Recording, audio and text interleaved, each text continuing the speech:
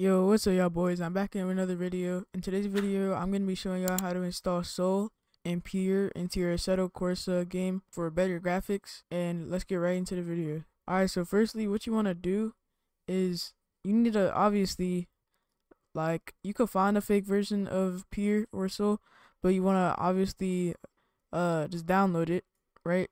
And then what you want to do is open the file. And if you have the, the real one, it should say I'll show you how to download the fake and real one. It should say install pure wait bat right. This will open. It's not a virus, trust me.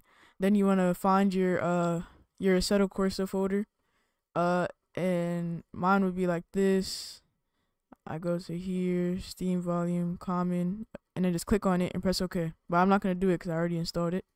So that's how you want to do that if you do have the fake one, so for example, this is like a fake one right here, you want to drag it into this folder right here into the downloads.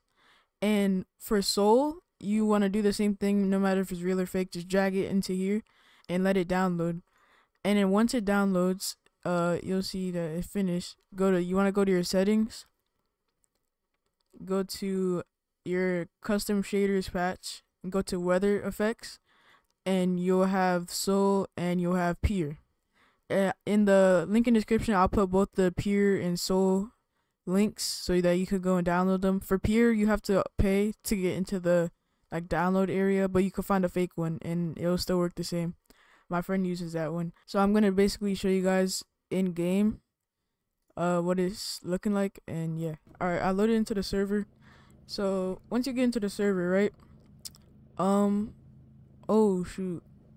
Alright, well I have Sol I'm using Sol right now.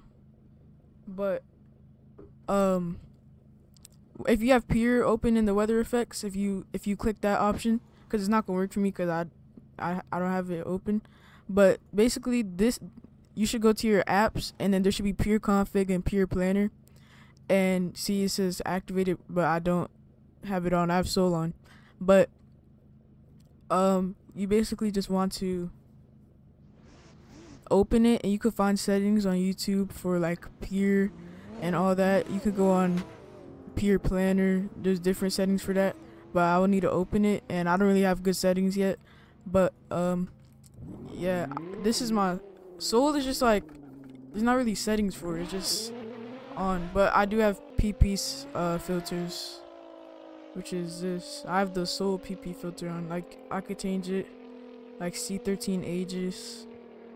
Like it's bright for a little bit, but yeah. But that's but yeah, that's basically all you need uh to make your game look better. It doesn't really bring your FPS down a lot, and my PC is actually bad, so uh I would know. But I do lag a lot, so when I record, I can't have like so much apps open. But I'm working on getting a better CPU, and um if you guys could please like and subscribe if this video is bro if you guys could please like and subscribe if this video is helpful please do because i'm trying to get monetized so i can start making money off of youtube and also build a community with you guys. I really appreciate it and i'll see y'all in the next video. Peace